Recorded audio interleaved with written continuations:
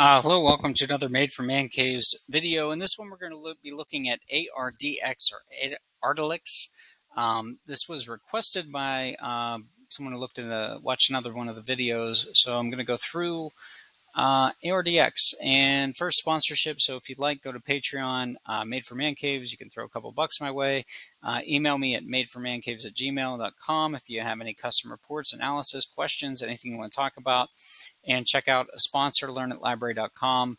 Uh, it's a Salesforce integrated customer onboarding and success platform. Uh, so if you have customers and they are onboarded or anything like that, uh, they do content management, business processes, different things like uh, in that area. Been around for uh, since 2016, so small company, but but um, record of success.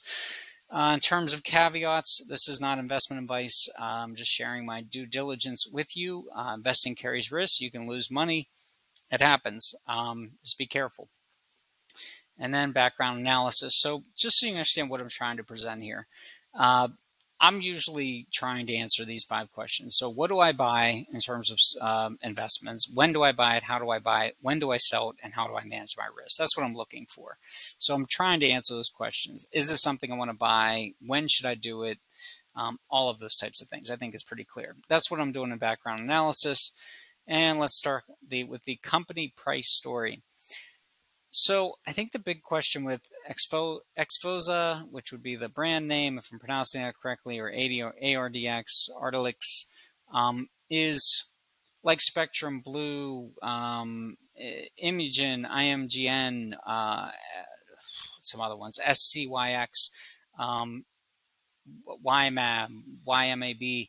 These all these stocks kind of facing the same issue the FDA was really busy last year with COVID, and the year before, the, the government was busy with that.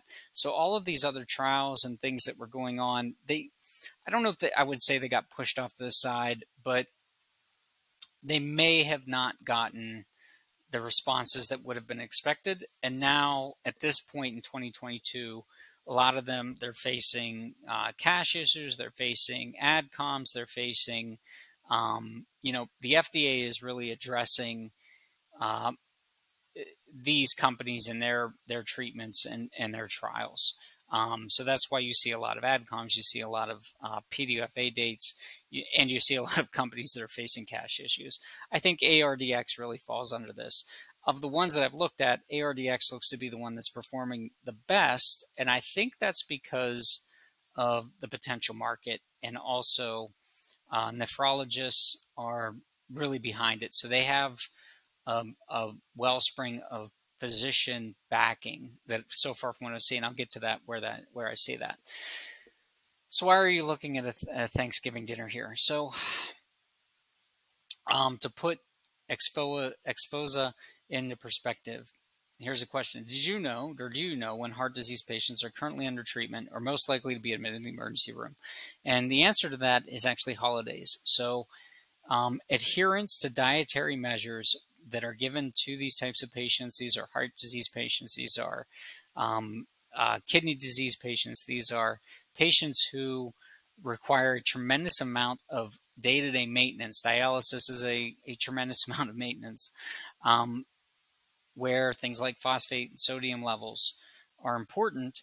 Um, they have these holiday dinners. They they um, overeat they have some kind of issue and they end up in the hospital and sometimes they end up being admitted and sometimes they die. Um, that happens pretty often. From what i've this is hearsay but i've been told this by many nurses and doctors. I work around them. Um, i'm not one but i work around them. And i think that's what you're talking about with Xphozah is it's it's not just that they have a no, novel approach to phosphorus management um, it's that they have an approach that is easier to adhere to. Um, fewer tablets and fewer pills per day with a significant or a fairly significant um, amount of results. Now, why did the FDA reject it last year? Um, for uh, phosphorus management. We'll talk about that in a second. So, little more background. So they were started 2007, I believe, for gastrointestinal tract and kidney um, areas. Uh, for hyperphosphatemia which is elevated levels of phosphate in the blood, common with chronic kidney disease, people who are on dialysis. Uh, they have two other trials RDX13 for hyperkalemia and RDX020 for metabolic acidosis. So, again, they are targeting kidney um, treatments for different types of areas for uh, chronic kidney disease. This is a, a, link to the trial that was submitted March 2021 or, or completed then that was ultimately used in the uh, uh, the decision in July 2021 from the FDA, which was a CRL requesting additional information. And here's some important background information. So 550,000 patients with CKD on dialysis, 80% have need treatment for hyperphosphatemia. Um, this is a first-in-class phosphate absorption inhibitor. Uh, three trials, more than 1,000 patients, high awareness by nephrologists, 8,000 nephrologists, um, or 80% are uh, have they, they have evidence that they are aware of this as a treatment, and um, ARDX is, has pursued a formal dispute, and the result of that is the November AdCom. So this is a point from the trial. Um, lower band is the placebo, higher band is the results from um, uh, and they were able to, um, patients were able to reduce uh, serum phosphorus, as you can see, so it, it, it's effective, or at least according to this. Uh, phosphorus management is challenging for patients on dialysis. They can take up to 10 to 12 pills per day. XPHOZAH brings it down to two pills per day. Um, clinical relevance for tenapanor is clear in terms of uh, adherence, and this is a novel approach. Um, and this is from a doctor. They um, applaud Ardelyx for their persistence so that's good. Uh, these are the different appeals that have occurred. Um, see, I've had multiple ones. Uh, they do have some partners, Kyowa in Japan, Fosun in China, Knight Therapeutics in Canada, and they currently have Ibs, Ibsrela for IBS, which has been approved. Here's the price story. I think the price story is interesting, and it's interesting and relevant as well. So point one here, they raised about $75 million to get started. Um, started their trials, a little bit of an issue with money. Another raise at 110 million. Started falling off. They got the tenapanor first trial endpoint was reached, but they had adverse events with regards to diarrhea for Ibsrela, which brought the pricing down. Um, they got an approval, and then here's the rejection for the the tenapanor or the XPHOZAH for CKD patients, and that is been here. So this is really their clinical stage. Um, here, first approval, additional um, indications for tenapanor, and their first rejection, and now they're bringing new data, and we have a, or they have an AdCom. Um, I think the good thing here is that they're very stable in their price. Notice how it doesn't not a ten of like they're not going up, they're not going down. It is it is very stable. Even after rejection, it's been very stable. And this is this is a period where the market was up and then way down. They have never had that. So I look at that as a good thing. I look at this as kind of old history, raising money. The question is they're going to have to raise money again. It, it looks like they will. So founded 2007 um, gastrological and, and nephrology uh, phosphorus management, losing 10 million per, per month. They're spending that. They have about six months. I think February. Ibsrela is approved. XPHOZAH is what they're looking for. Two trials that are planned with no real dates. Large market, half a million patients per year on chronic kidney disease. And the big date is 16 November 2022. Um, so their technicals low price has been 50 cents, high is $1.92, but that's 52 weeks. If you go out six, one more month, it was up around eight. Market cap almost 200 million shares, large shares. I, I'm I'm a little hesitant right now with these large shares because they're easy to manipulate. Float of 153 million. Uh, enterprise value 164 million. Average volume is about three, and it's been relatively steady with the price increase. Life live cash estimate about 66 million, which means they, they have a short runway. Losing money every month. Cash burn about 10.5 million.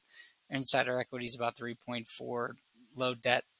Um, they do have more than a million per month uh, for Ibsrela, so it's not enough to cover what they're spending, but that's what it is. Um, November, so not they haven't put a date for RDX. It's probably on hold because they don't have the cash, and by February they're going to have to have some kind of raise. Chart analysis. So I call this the COVID cup and handle because a lot of companies look like this now, where they have an April um, high. This was about a dollar, fifty cent low, back up to about $1.28. By this number, 130 would be their breakout point. Um, but I think a lot of companies look like this, and I don't know if I trust it as much anymore.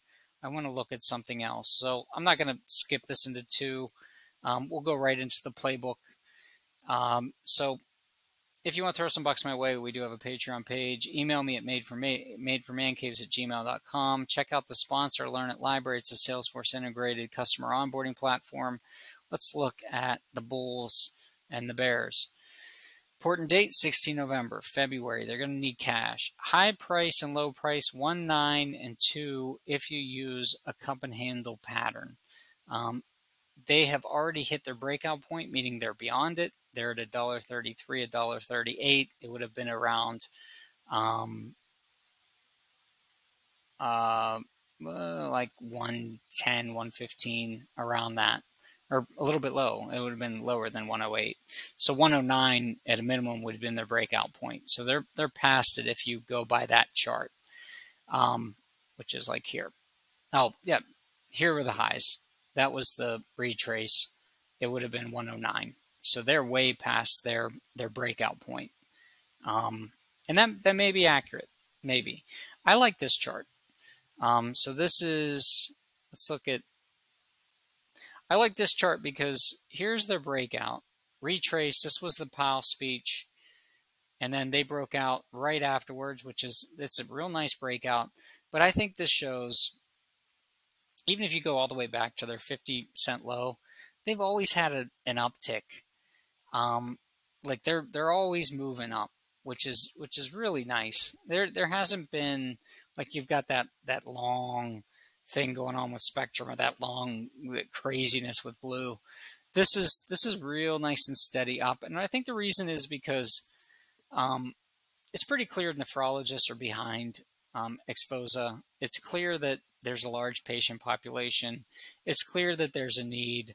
They're going to have to do a raise, but I, I think that this chart shows a really positive um, thing occurring. They have about 60 to 70 cents um, in the upwards range that they could climb going into that AdCom in 16 November, and they're really steady.